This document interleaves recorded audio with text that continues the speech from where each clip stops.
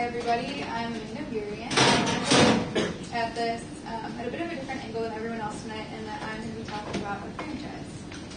So I've been a student here at Rockhurst for five years. The first four of those were undergrad, obviously, and I lived on, on campus all four years. So this is my first year living off Rockhurst campus, and this is also only my second year without, with a car Kansas City. So what I'm trying to get at is that I lived on campus for three years without a car and without any way to get off campus. So I have a meal plan. And I ate at the same three places every day, breakfast, lunch, and dinner, for three years. And I can tell you that it got pretty old pretty fast. Uh, and I know that there are a lot of other students just like me that are in the same predicament today. Currently, we have three options at Rockhurst. The first is Thomas More Dining Hall, which we all call the CAP, I'm pretty sure. Uh, they offer some to-go options. They rotate out hot foods for breakfast, lunch, and dinner, and they have a salad bar. There's the pub, which offers grill options like burgers, chicken tenders, fries, uh, onion rings, all the healthy stuff. And then there's Planet Sub, which just offers a variety of sub sandwiches. I'm not trying to knock any of these. They have great food. I'm just trying to make the point that eating at the same couple of places every day for a year, two or three, breakfast, lunch, and dinner, gets old pretty fast. For this reason, I know that Rockhurst needs another dining option for students on campus. And luckily, there's a brand new retail space right at 51st and Troost underneath the new parking garage, which is where I decided that I would, would put in a Pickleman's. I've thought a while about the type of dining place that I think Rockhurst students would really appreciate here at Rockhurst. I asked students what they would look for in a new place to eat on campus, and three main things that I found were convenience, late hours, and a variety of foods. And Pickleman's uh, meets all these all these criteria. My first experience with Pickleman's was in Columbia at Mizzou. I was visiting some friends, and like typical college students, we went out, we got home late, and we wanted something to eat. Now, if I were here in Kansas City, I would have been, uh, you know, I'd have to deal with it and go to bed, or hitch a ride with someone else, maybe sit in the line, long line at Taco Bell, which treats people around here. but my friends at Mizzou, they knew just what to do. They called Pickleman's, ordered some food, and within a matter of 20 minutes, we had food delivered right to us. And it was really good. I remember exactly what I had the first time: buffalo chicken sandwich, tomato soup, really good. I ended up finding out that they have a location also in St. Louis, which is my hometown. And so I was going there whenever I visit back home. And it's just really good food. One good thing that they have going for them, which I've touched on, is the variety of options. They have lots of subs, soups, salads, and pizzas, which uh, is one of those things that I think would be really important on campus here similar to the way I feel about Panera. I feel like it's a place you can go to multiple days in a row, not order the same thing, and never get never gets old. The other great thing that they have is their hours. Most of their locations are open from 10 until 2 a.m. Their location in St. Louis on the SLU campus is actually open until 3.30, Wednesday through Saturday, for those late night party goers.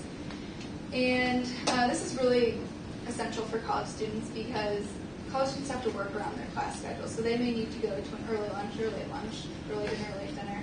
They may be out late studying or going out and need to get some food when they come home. The other great thing is the convenience factor. Obviously, Rockhurst is a pretty small campus. There's there are about 1,000 students, almost 1,000 students that live on campus, and they're all pretty limited to their food. And I know that, that they would be really excited about a new option on campus. And being that it is such a small campus, if you put them on the opposite side of campus from where the parking garage is, it would still probably be less than a 10 minute walk to get there.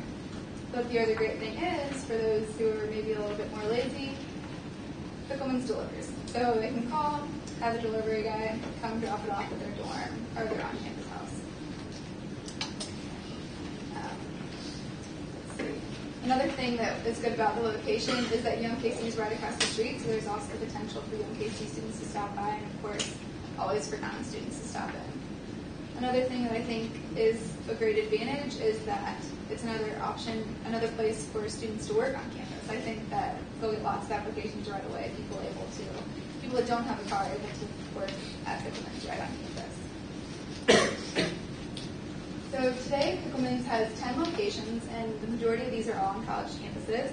Here you can see um, one with on Mizzou campus. It was founded in Columbia in 2005, so there are actually three on Mizzou's campus. There's one in Lawrence at KU, one in Lincoln, one in Norman in Oklahoma, and in Springfield for Missouri State. I just found out um, within the last week they announced they're opening two more St. Louis locations. One's in Kirkwood, and they are opening their first King City location on the Kansas side at 135th and Metcalf. And I spoke with them, and I found that they're actually looking to open five to seven more locations in the Kansas City area uh, in the near future, and that's why I know that Pickleman's will do really well on Rockhurst campus, and I think it's the perfect restaurant to put in in the new retail space. And I'm going to open it up to you guys for any questions on that. Are they all company owned now? Um, no, they're fran- they franchise. All of them? Um, I don't know about all of them, but I know that they do. Um, I could probably like double check. I mean, I know we said we're ideal going into that parking garage, and obviously we talked before that, you know, as a Rockhurst grad myself, I would have loved this option. Do we know what the rent is there? Yes, um, it's ten to fifteen dollars per square foot for the lease. Plus build out, right? yeah, they said they allow twenty-five dollars per square foot for build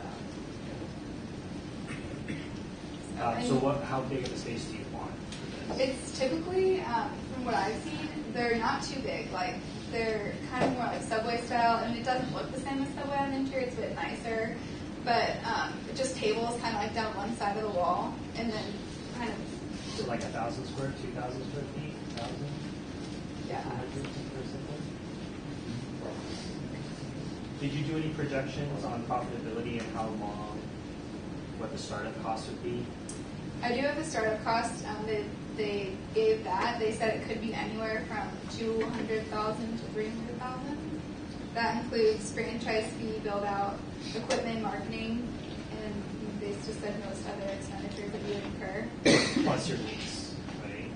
Yeah. That two hundred or three hundred doesn't include your lease. Um, yeah. At that, at that area, you know, I'm thinking of a subway at, you know, thirty-six K. Mhm. Is there not something that is a maybe less well-known franchise, but maybe slightly more affordable? Because when you're naming off some of these, uh, you know, Springfield, Norman, KU, Mizzou, big state universities, you know, we're the small private Catholic school, happens to be across from a smaller version of a public university. Does the profit, thinking about that two hundred thousand dollar entry point, Mhm. was there another franchise you looked at, or was that was maybe a little less well Um. I really like this one just for the variety. I mean, I thought about some other ones. There's one called Which Wich, which is also in Columbia. Um, I didn't really go into really looking at the pricing or anything, just because they really only offer sandwiches, and I thought that would be more direct competition with something like Planet Sub or another option on campus. It's like, like Felicity mentioned, having the, the, the barrier and the limit to, being limited to Rockhurst, did you consider putting it somewhere else? So that there'd be easier access from Casey, Rockhurst, and then even people from the plaza or downtown? Yeah, I, the whole idea for me really started with wanting something else on Rockhurst's campus, so we're kind of really. What's kind of, oh, sorry, what's kind their average meal item price? So what would like a sandwich or The sandwich is probably like six ninety five or something like that, and then you can add on like a soup or salad. And so probably around twelve dollars if you want, you know, the soup and the sandwich. So it's not uh, pretty average price. Do you know what they typically produce in revenue? Um, I don't have that. uh, the two to three hundred thousand dollars typical for the first two. Is that a requirement by the franchisor, or is that simply their recommendation Um, they just told me that that's typically what you can expect to spend. So I would assume that it's required.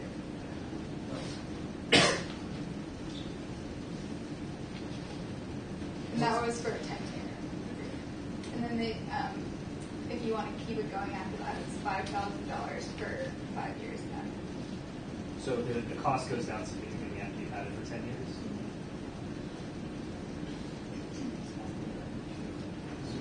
I, do you, do you have any sort of pro forma or projections on cost? I just back to Dave's question, I wonder, less related to food, I think at least five times on that.